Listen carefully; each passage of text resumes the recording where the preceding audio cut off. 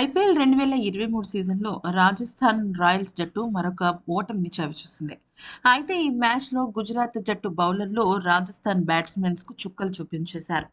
ఇక ఈ ఈ సీజన్ మొత్తానికి కూడా మనం గమనించినట్టయితే రియాన్ పరాగ్ వైఫల్యాల పరంపర కొనసాగుతూనే ఉంది.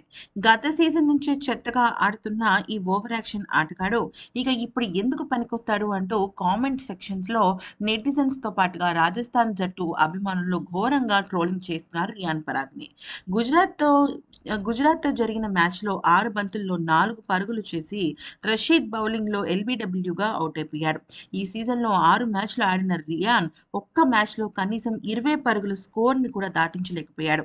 ఇక సన్ రైజర్స్తో మ్యాచ్లో ఏడు పంజాబ్పై ఏ పంతొమ్మిది ఢిల్లీపై ఏడు గుజరాత్పై ఐదు లక్నోపై పదిహేను ఇలాగా చాలా తక్కువగా తన ఒక ఇన్నింగ్స్ను అందించాడు. పైగా గుజరాత్తో మ్యాచ్లో రాజస్థాన్ యాజమాన్యం ఇతగాడిని ఇంపాక్ట్ ప్లేయర్గా బరిలోకి దించింది.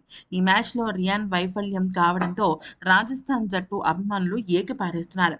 అయితే ఆట విషయాన్ని పక్కన పెట్టేస్తే తను చేసే ఈ యొక్క ఓవర్ యాక్షన్ పనులకు ఇంకాస్త మండిపడుతున్నారు అయితే ఇక కనీసం ఆడాలి అన్న మనసాక్షి కూడా లేదా నీకు అంటూ వ్యంగ్యంగా కామెంట్లు పెడుతున్నారు. అయితే ఇక ఇక రియాన్ పరాగ్ విషయంలో ఆ జట్టు కెప్టెన్ అయిన సంజు శాంసన్ కూడా చాలా భావోద్వేగానికి కోపంతో రగిలిపోతూ వచ్చాడు. ఎందుకనంటే ఏదో ఏదో సాధిస్తాడని చెప్పేసి రాజస్థాన్ జట్టు యాజమాన్యం మూడున్నర మూడు లక్ష మూడు కోట్ల ఎనభై లక్షల రూపాయల పెట్టుబడిని పెట్టేయింది అయితే వెంటనే ఇతన్ని తీసేయాలని ఇతని కన్నా రియాన్ పరాగ్ కన్నా గల్లీలో ఆడుకునే చిన్నపిల్లల నయం అంటూ అంటున్నారు.